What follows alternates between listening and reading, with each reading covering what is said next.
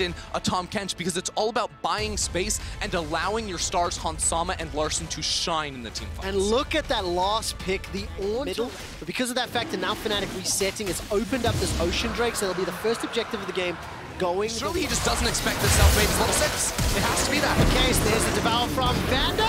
Gonna spit out Hylissang, and Hylissang will be going down. Rekkles unable to return. They've lost the first dragon. They've conceded first blood. Now the first Rift Herald is under risk. The Hylissang's gonna turn his attention to Hans Sama. Manages to use the portal over the wall. Call the Forge God comes out. Shockwave whips again.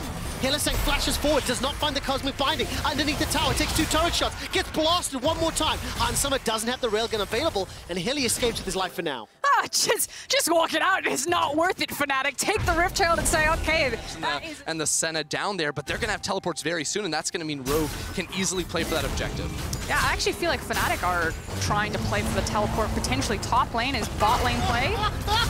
Bwipo does not care. Oh, the rest of Rogue are on the way. This is bad for Fnatic. Well, Finn manages to get taken out. Self-made goes golden for now. The rest of the squad making their way down. Teleports coming in for Fnatic. Self-made is low, 200 HP. Manages to get a gigantic shield. The tower helps out though. That's a reply back. The shockwave finally. We can see Rogue on there, so that's a little less pressure, but let's see how they do for the rest of the game. Yeah, but ultimately, Rogue's goal is not just to lock. The contrast that to Vander on his Tahm Kench, that has been hugely influential. And this was one of the significant because you're against a Sejuani and a Azir, and if Finn is also able to find a flank on that Renekton, suddenly now there's... Larssen, if he wanted to, could base to finish off his Liandry's, but he knows, even without it, they are so much stronger than Fnatic right now. And Larssen, he does it again.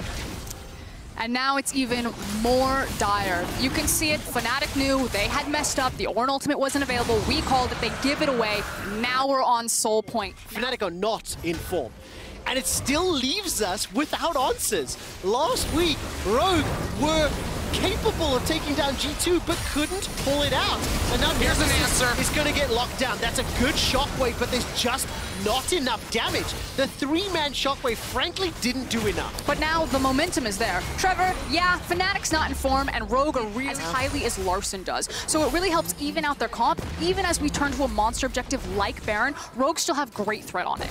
Now, Fnatic did just pick up their second tower of the game. It is three minutes until the next Drake spawns. We know Baron is available to, well, basically anyone, and now Larssen will once again be the target. Larssen is the best team fighting mid laner in the LEC right now. You have to hit him early. They failed to do that, and here they go again. I mean, goodbye self-made. The jungler is down. Call of the Forge God comes out now. This is a four versus five. That's Hans Sama forced to play defensively. He's taken out. Nemesis gets the man. Now it's one for one. Shockwave comes back. I think anti-synergy, I believe the Tempered's Faith prevented the damage. Fnatic, though, definitely are in a good position.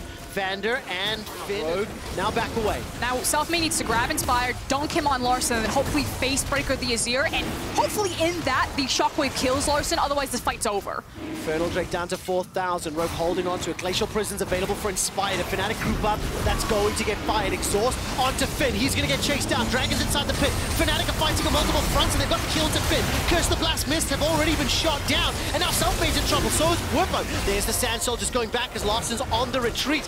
Fnatic have won the fights. And they're chasing down Larssen now too. Hylissang's gonna shut him down. Sivir has so much value against a big, beefy, tanky frontline comps because it rattles around, because you can actually auto-attack pretty freely. Hylissang gets caught out. What was that decision? Why? Why the team fight capability? Now show me the execution.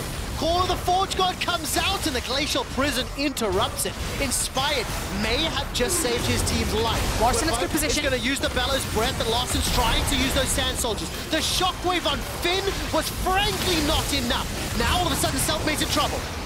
Larssen had a beautiful position on that fight. The entire squad of Fnatic and just let Selfmade out to dry. That is on the Infernal Soul and there is no smite. Fnatic have to fight this. Once again, we saw Fnatic tank caught out of position. Bwipo ulted. He was too far forward. The rest of his team punished for it. And now Rogue are going to secure the Infernal Drake, the Infernal Soul for free. Burn! Banshee a little bit worried. And here we go, Selfmade. Okay, Selfmade's going to deliver Vander. That will be a kill for Rekkles. Now it's five apiece. Call the Forge God knocks up Larssen. Emperor's Divide buys enough time for the rest of Rogue to escape, but a man down and a Baron available. Hilly throws out the Tempered Fate. Angry Bee from Finn. Cosmic Binding needs to connect with something, and it does not. Oh, no. The damage in return. The whiffed Shockwave as well. And Hylissang does Hylissang things. Oh, something going in. He is indeed. Turns his attention onto Finn. He's blown up. Why? Why? The rest of Fnatic were not there. Curse of Larssen on the flank. Is fired down, and there comes Larssen. Inspired manages to get the knock-up on a Bwipo.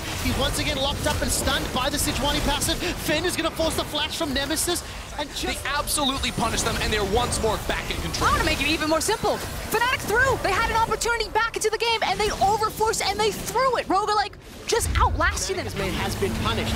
Rogue are in the advantageous position. More ultimates chucked at Rogue, and it doesn't matter. Fnatic just did not connect with anything. Rogue with Baron buff, with the Infernal Soul, and now looking to kill Hylissang as well. They are donated kills. And Rogue are playing fantastically the way Rogue have all summer long. Just stop trying to pick Larssen. It is never going to work. That's what I'm saying. I'm like, Rogue, no, Larssen. They just threw 20 ultimates at the guy, and he's like, okay, Based on what fine. we saw from G2 earlier today, what we're seeing from Fnatic, right now, this Fnatic will not stand up to G2 tomorrow. A lot more needs to change. Forget that conversation, Trevor. G2 and Fnatic won't stand up to Rogue in this type of form. Yeah, but that we knew already. This time round, Rogue are looking at the Nexus. Rogue are looking to stay tied with Mad Lions. They are already booked into the playoffs. And Rogue may have faltered to G2 last week, but they did not fall to Fnatic today. All I have to say, Rogue stand on top, remember the name. Do not forget the forgotten first place team. Yeah, they fell down to G2, but it seems like they've gone back, they've reworked the tape, and they make a statement against a Fnatic. Yeah, no doubt about it. Rogue and Mad Lions are looking at the finals right now, and the old guard are faltering. Rogue destroy Fnatic.